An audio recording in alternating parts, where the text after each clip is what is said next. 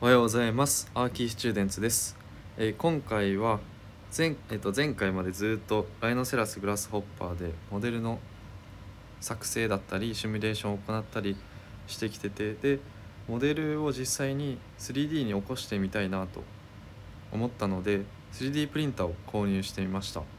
アドベンチャー 5M Pro というのを購入しましてこちらで 3D, 3D にあの印刷していきたいと思ってます。でパート1とパート2に動画を分けてあの梱包？梱包じゃなくてあの開封の動画を撮っていくんですけれどまずパート1では実際に開封していくものをやっていきます。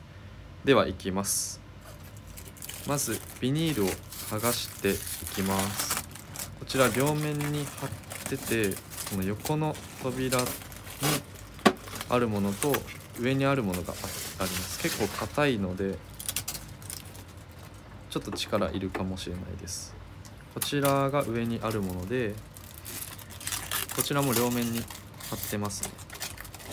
ピリーと破破るじゃなくて剥がしていくという感じです。剥がしたらこのタッチパネルのとこもあるので剥がしてください。で全体像がこちらになってて結構綺麗なかっこいい感じです。ボックス型ですね。で中にも部品が入ってるので外していきます。こちらちょっと取りにくかったので取りにくいんですよね。取りにくいので上から蓋を開けて取っていきました。で次中に入っていたものを紹介させていただきます。まず1つ目がコードですね。こちら電源ですね。次フィラメントですね。で次がフィラメントを取り付ける用の金具ですね。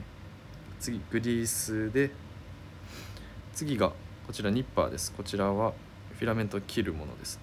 で次六角レンチとドライバーですね。こちらは必要です。で次 USB です。こちらマニュアルとかが入ってます。ソフトとかですね。で次がノリで次がノズルですね。0.6mm ですね。そして次が後で使うこちら金具ですね。で次ネジを外していくんですけれどどこのネジかというと中に4つほど矢印が書いてあってでその矢印の先にネジがあるのでこちらを六角レンチでこう右に反時計回りに回しながら外していきます。このように外れますけどそれなんですけどちょっと指が入りにくいのでここもありますね。でここラストですね。指が入りにくいのでちょっと細かい作業になるかと思います。で後ろもつけていきます。こちらもこうやって六角ですね。で次言語の設定なんですけれど自分は日本語で設定していきます。次へですね。印刷の準備中でこれも次へですね。W i f i はスキップさせていただきます。次にプリンターのセキャリブレーションですね。こちら全部もう自動でやってくれるみたいなのでお任せしてます。この全自動がすごいいいなと思って購入しました。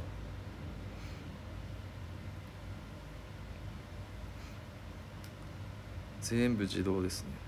で次がレベリングやってます。これは自動調整のやつみたいです。このプラットフォープラットフォームとか何をしてるのかはわからないんですけれど次振動のチェックです。50秒ぐらいかかります。で今回はパート1では開封の動画をやっていってパート2では 3D プリンターを使って印刷をしていきたいと思ってます。実際にデフォルトで入ってる船のモデルがあるのでこちらを印刷してみたりしようかなと思ってます。その後は自分でライノセラスとグラスホッパーでモデル作ったりして印刷していろいろあとは私生活で使えそうなものとかも作っていきたいなと思ってます。あと7秒ほどですね。4321で完了ということですね。次にフィラメントをロードしていくんですけれどこちらはモデルの作成印刷になっていくので次やっていこうと思います。ありがとうございました。